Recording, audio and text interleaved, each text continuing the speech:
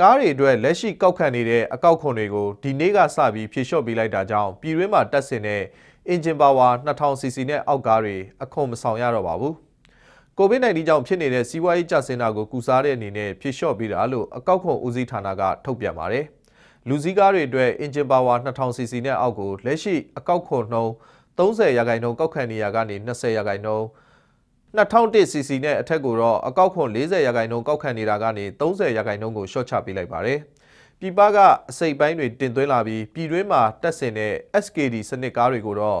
2001 cc နဲ့အထက်ကိုအကောက်ခွန်20ရာခိုင်နှုန်းကောက်ခံတာကနေ9ရာခိုင်နှုန်းအထိရှော့ချပေးလိုက်ပြီး engine power 2000 cc နဲ့အောက်ကိုလက်ရှိအကောက်ခွန်နှုန်း10ရာခိုင်နှုန်းကောက်ခံနေရကနေမကောက်ခံတော့ဘူးလို့သိရပါတယ်ခင်ဗျာ။